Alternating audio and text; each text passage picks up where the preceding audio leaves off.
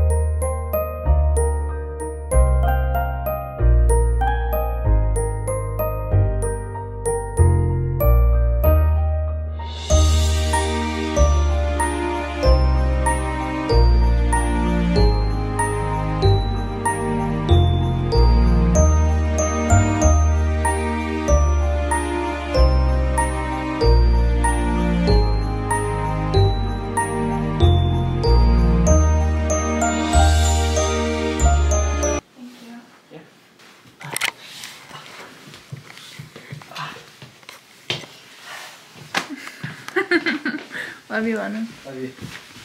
Hey guys, everything's moved and all of my books are currently on my bed and I like can't find a place to sit down. So we're gonna try this again. I think I think everything is here. It is a little bit crazy, but we're going to go ahead and hop into the TBR section of this book. I'm pretty excited. I do like how the bookshelf looks right there. It is definitely a very, very weird adjustment right now looking at my room like this, but we're gonna try it and if I don't like it, I can always switch it back. But all my books were organized, but they no longer are. So this is gonna be really fun to get through and reorganize. It's gonna be a long one, so let's get into the video. Grab and go, and then I'm gonna just set it down on the floor and then we'll put all of it on my bookshelf. Before we begin, I do wanna say all of these are on my physical TBR. These are all my physical TBR books. All the books that I've read are on other bookshelves or they're at home with my parents. So yeah, as much as like the TBR cart is really appealing to me, I have a TBR shelf. It's bad, okay? Without further ado, let's hop into it. The first two books I have are actually After You and Still Me by Jojo Moyes. This is the second and third book in the, what is it even called? Me Before You, the Me Before You. So, um, yeah, this takes place after the ending, obviously, and I Honestly, haven't really heard all that much about the two of them, but I bought all three of the books on Thrift Books like such a long time ago, which is why they look like this. And it's funny because the first one is like somewhere in the middle between these two, but it doesn't really matter. Anyway, I have these books. I do eventually want to get to them. And at this point, I'm like, do I need to reread Me Before You? But then I'm like, I don't want to. So that's a little bit of why I'm discouraged, but there we have the first two. Moving on, I have three books by Elin Hilderbrand. I have read one book by her, it was 28 Summers. It was the absolute perfect book. If you're looking to start with Elin Hilderbrand, I personally would recommend 28 Summers, obviously because it's the only book I've read from her, but also just because it's, it's an actual amazing book. 100% recommend it. Um, but yeah, I have three of them. I do think this is probably one of the most popular. It's called The Perfect Couple. I'm pretty sure there is a show adaptation of this currently out, I'm pretty sure. Um, but these to me scream summer, so I'm like, I'm definitely going to read these, but it'll probably be in the summertime. But yeah, so I have The Perfect Couple, I have Barefoot, and then I have Golden Girl. So I don't really know what any of them are about, but I I mean, come on, they scream summer beach read. Okay, moving on, we have a another series, and this is the Maya Banks Rush. Oh no, it's the Breathless trilogy. So I got, I believe I got the first one at Barnes & Noble, and then I bought the other two on Thrift Books. But I have heard this is sort of like a Fifty Shades of Grey trilogy, but like, is it more YA? No, it's not YA. I just, sorry, I just saw, when it comes to sex, Ash McIntyre has always explored his wilder side. That is not YA. Anyway, I don't really know. They're erotic because, I guess, I, I don't know. Like, what is, what is this resembling? Please tell me.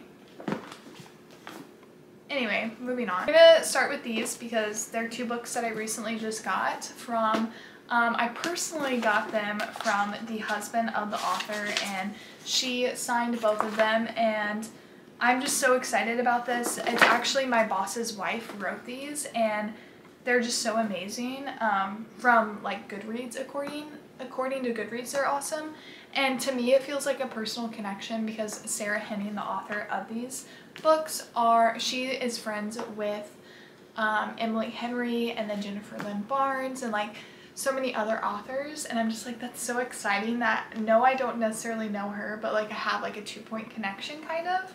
Um, but this is from what Justin Sarah's wife told me is about a retelling of sorts of The Little Mermaid and it follows Ursula or the character of Ursula. And so it is a duology. The first book is called The Sea Witch or just Sea Witch actually and yeah, it's funny. The the main character or the main character's best friend's name is Anna and that's my roommate's name, so that's just kind of funny. And it does have a sequel, so that is a, another two on our count. I actually do have another series right here and that is the Magnolia Park series. Oh, these books are so beautiful. I actually have read the first three, but I'm putting all five on my TBR again because I think I need to read all of them like straight through back to back to back uh, to fully just like immerse myself and to remember like what's going on in this series. So I am putting all five back onto my physical TBR. Sticking with this series because next I have a Good Girl's Guide to Murder and I just dropped the first book so I'm not going to pick it up. But I actually did read that book but I'm again putting it on my TBR because I feel like I just need to read all three of these like back to back to back. But I have heard great things about it. I, I watched a little bit of the first episode of A Good Girl's Guide to Murder on Netflix when I was getting my nails done last month. So I haven't seen it and I'm like, I probably won't watch it until I read all of these books. But this is another series and this is a series I'm actually trying to thrift. I can't remember. I think I had all of the all of the books actually for the Mortal Instruments. The only thing that I didn't like is that they're obviously all not matching, but I mean that doesn't really matter. Oh wait, no, no, no. Sorry, I lied. So these are the Shadow Hunters. I have one and two of the Shadow Hunters. And then for Mortal Instruments, I have three, four, five, six. I was kind of considering I might just end up trying to find one that has like the map looking thing. But yes, I eventually want to read this series and this is a series that I've just been trying to thrift because it's one of those where I'm like, I don't really want to buy all the books, um, but I will buy them if they're like a dollar a piece. I think the only one I bought for full price at Barnes & Noble was the first book of the Shadow Hunter, or no, the Mortal Instruments series, which also I have no idea how this like series works because I think it's like three series combined into one like universe. So if you guys know, let me know onto the floor it goes. There is another series that I have. I don't actually have all of the books, but at one point I was just buying series without knowing if I would like it, which is really stupid. But that is A Touch of Darkness by Scarlett St. Clair. And this is a Persephone's retelling. I don't know if all of them yeah, it looks like all of them follow Persephone and Hades. I don't know how many books are I don't know how many books are published now, but like I said, I have the first three. And they actually, like, the, the covers of them are so gorgeous. And I do want to read these.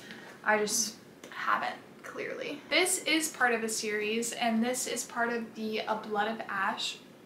No. A Blood and Ash series. I absolutely loved the first two books. I think I liked the third book and then the fourth book I did not like at all. And I'm pretty sure this is the fifth book. I had like pre-ordered it because I had been loving the series so much. And then the fourth book happened and I just have not, like the thought of it, I can't imagine. I don't know. I'm like, if I ever read this, I think I'm going to have to go back into the entire series again um, but for right now, we're only adding this one book to my physical TBR. I guess we're sticking with series because I have another two books that are part of the series and that is Alex Aster's Lightlark saga.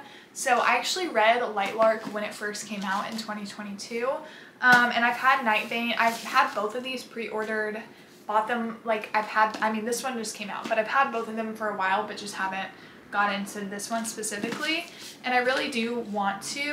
Um, I'm almost at the point where I'm like, should I reread Lightlark because it has been two years? But I will just say I do think these covers are so gorgeous. I wish I had Lightlark to like complete this set, but there they are. Next I have three James Patterson books that my fiance's mom got for free and so she passed them on to me. And I'm pretty I think they all might be part of like the Women's Murder Club is what it's called. Maybe this one isn't, but these two are. Um, the Unlucky 13 and then the Eighth Confession and then we have I, Alex Cross. So we have three little mysteries. I've never read James Patterson, but I have heard great things about him. Um, so if you guys like him, let me know. Next we have a novel by Lisa Jewell. This is called Watching You. I was in a huge Lisa Jewell kick a few years ago and I read like four books from her, all rated them like four to five stars, I'm pretty sure. And I just have not got into this one. Um, but I love it because they are set in England and I think that's super fun. And her her thrillers, like they're they're like dark. They're really they're really dark, guys. Uh, that's all I'm gonna say. We have I, Tituba, Black Witch of Salem by Mar Maryse Condé. I was supposed to read this for class actually, and I did not do that because I was sick or something. I can't remember what happened, but I ended up not being able to read this. I actually think I didn't get the book until after the class period, which was bad timing on my part. But it is really short, and I'm like, this is a book that I'll definitely read in 2025 probably. We have The Great Gatsby by F. Scott Fitzgerald. I have never read this book. Like, this was not a book that I had to read in class, so I've never read this book, and it's so short, and I'm like, I love the movie, I need to read it. This is a book from back when I had Book of the Month, and this was my July 2021. This has been on my TBR since July 2021. Guys, that was almost four years ago. That was three and a half years ago. Um, this is, this takes place in Dublin, I'm pretty sure. Yeah, this takes place in Dublin and it's throughout the course of quarantine, which honestly, that's part of the reason where I'm like, uh, do I want to read this? But it is a thriller and honestly, it doesn't sound bad, but I also am like struggling because I'm like, I don't know. I don't know. Maybe if I do a video that's like specific on thrillers, I would read this, but right now, no. I believe this is another, okay, this is a historical murder mystery that I got as a gift from my, um, I got as a gift from my fiance's dad, and it's called The Body on the Bed by Leonard Krishtalka, I think. Um, and he is, he actually worked at the University of Kansas, which if you guys don't know, I'm getting my master's there in literature currently. And he sets his books around like Lawrence related or Kansas related history. And so I think that's pretty interesting. And so definitely want to read this eventually and it's signed, which is really cool. This is a book that I know is like coveted by a lot of people and it's the Atlas 6.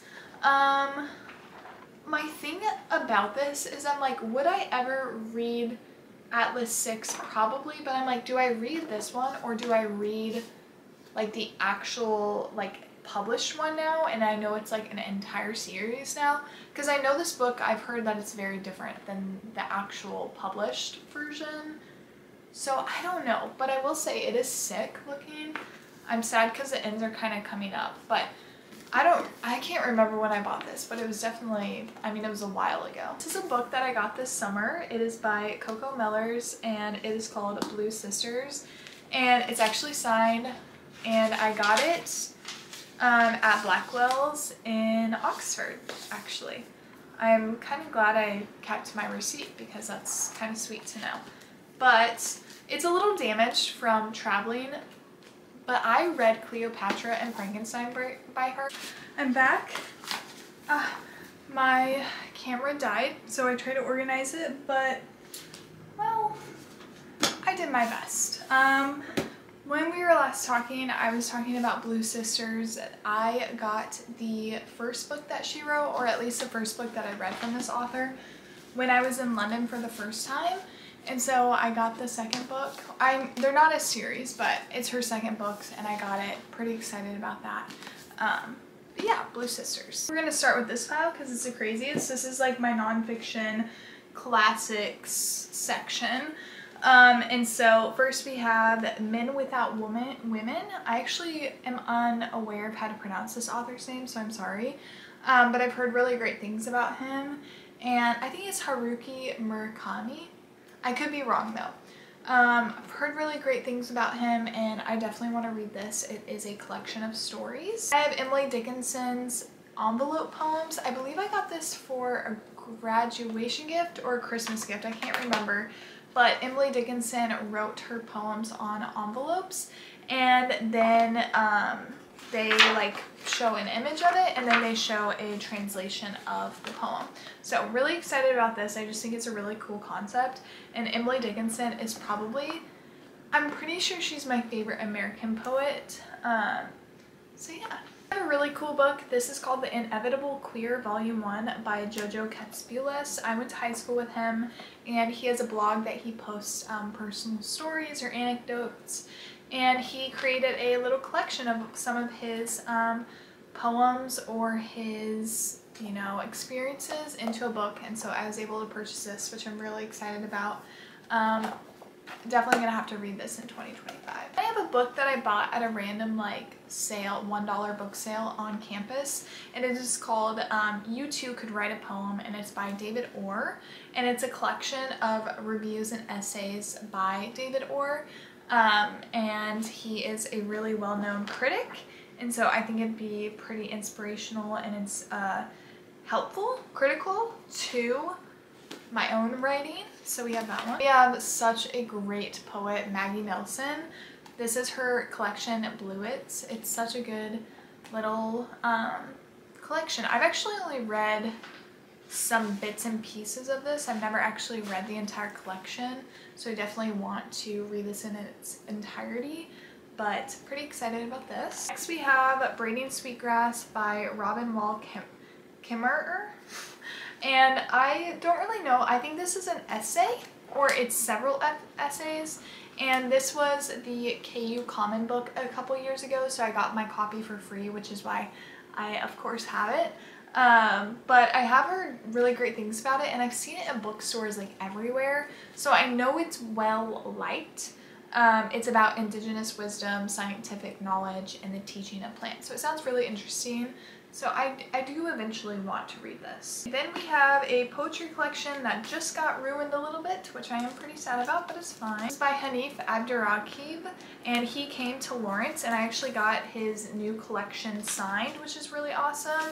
He had a such a beautiful poem in here during his reading. I wish I could remember what it was, but it is called There's Always This Year on Basketball and Ascension. Um, but I mean, it's not all just about basketball, of course. But I am very excited to read this. The poems that he read when he came and spoke were just phenomenal. Another poetry collection, and that is called The Summer of Dead Birds. It's actually a signed copy, which is pretty cool. I honestly just thought the, the sound of it and then the cover was just so sick, and that is actually why I ended up getting this collection. I have, I found a new love for poetry last year, if you can't tell, and I'm like, I have so many collections now and I'm like, I need to catch up. This is a collection of essays, but it is by a poet and it is by Ross Gay. It is called The Book of Delights. Um, he also came to Lawrence a few years ago. I didn't have the opportunity to see him, but I've heard such great things about him. And so I'm definitely looking forward to reading this one. Other uh, poetry, it actually has poetry, nonfiction, and fiction in it. And this is a collection that can't remember where it was published, but my friend actually gave it to me because their poem is featured in the non-fiction uh, section, I believe. Yes, it is. Um, I I believe it was their previous um, university, but I can't English and Creative Writing Department at Columbia uh, College Chicago. I have a memoir by Chloe Cooper Jones. She actually came to Lawrence as well and I got this copy signed which is pretty fun. But this is just about her experience as a disabled woman and as a mother and it she it was a finalist for the Pulitzer Prize which is really incredible and so I'm really excited to read this. She was an awesome speaker too and so looking forward to this one. Um, Mary Oliver, a selected essays. Mary Oliver is so great. I believe, I actually think my friend Major introduced me to her with her book called, or her collection of s or poems called dog songs and that poetry book was so good and so when I saw this at the Raven I ended up getting it. Actually no, I think actually I think actually Major got this for me. I think Major may have got this for me because I loved dog songs so much. But it is a collection of essays and I'm so excited because I just love her. Yeah, then we have a memoir by Jaycee Dugard and it's The Stolen Life or A Stolen Life where she was um, ab abducted and she was gone for 18 years.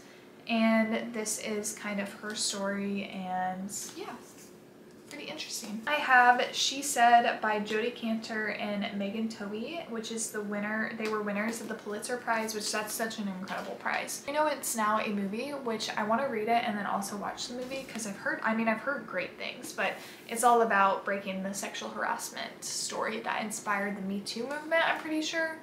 Camera keeps on dying and the sun is setting and I have to leave soon, so we're gonna rapid fire go through these. I, while my camera is charging, I put a few books on the shelf. We're sticking with classics and poetry. We have The Woman in White, Much Ado About Nothing, The Bluest Eye, Love by Angela Carter, 1984 by George Orwell, The Color Purple by Alice Walker, Virginia Woolf's Orlando, I said The du D'Urbervilles by Thomas Hardy, Virgin Suicides, Paradise by Toni Morrison, Oscar, Oscar Wilde's The Picture of Dorian Gray, Philip Bronte's Jane Eyre, Captivating by John and C.C. Eldredge. Praying the Scriptures for Your Marriage by Jody Burnett. We have How to Put Love First by Sadie and Christian Huff. Ulysses by James Joyce. Changing Moves by Chad Parks. A Mary Heart in a Martha World. Joan Didion's The Year of Magical Thinking. I Will Teach You to Be Rich by Ramit Sethi. Atomic Habits by James Clear. I have read this, but I think I'm going to try to read it again in 2025. We have Save the Cat Writes a Novel, the last book on novel writing writing you'll ever need. And then our last book in this section is All About Love by Bell Hooks. Moving on to my books that are like darker, I guess. I have A Certain Hunger by Chelsea G. Summers. This cover is sick. Things. Southern Book Club's Guide to Slaying Vampires. We have Slow Horses by Mick Herron. And then this pile over here is all of my like literature, romance section. I'm just to go through it really quickly. I have A Little Hope by Ethan Joella. This has been on my TBR since November of 2021. It needs to go. Lessons in Chemistry by Bonnie Garmus. She, Garmus, she did sign it and she said, I can't wait to read your book. Keep going. So that was really awesome of her. Prince by Sophie Lark. The first book in Emily Wilde's Encyclopedia of Fairies. The Chaperone by Laura Moriarty and she actually signed this too and she's actually a professor at the University of Kansas. And called Ove by Fredrik Backman. Book by Sarah Adams. Free Soto is Back by Taylor Jenkins Reid. Eileen by Ottessa Moshfegh. Earth We Are Briefly Gorgeous by Ocean Vuong. He signed this as well. So cool. Bell Jar by Sylvia Plath. Matchmaker's List by Sonya Lalli. Midnight Library by Matt Haig. Sex and Vanity by Kevin Kwan. Love Your Life by Sophie Kinsella. Actually, I have two books by Beth O'Leary, and that is The Road Trip and then The Wake Up Call. We're almost done, don't worry. We have Writers and Lovers by Lily King. Then we have One Day by David Nicholas. We have Ariadne by Jennifer Saint. We have Milkfed by Melissa Broder. We have Ghost by Dolly Alderton. Summer Job by Lizzie Dent. And our last four books, or three books actually, is Maggie O'Farrell's My Lover's Lover, Lectra by Jennifer Saint, and Bunny by Mona Awad. So those are all our books and I really need to put these on my bookshelf.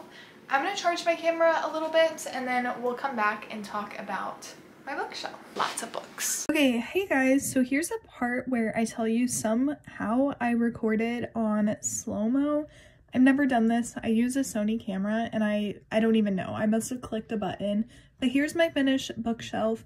I am obsessed with it. Sunny, who is in recovery, is on top. We have my rainbow and then we kind of get into an assortment of books. At the bottom here, I am showing you my classics and my nonfiction. This is pretty general for me because I like kind of keeping it out of the way.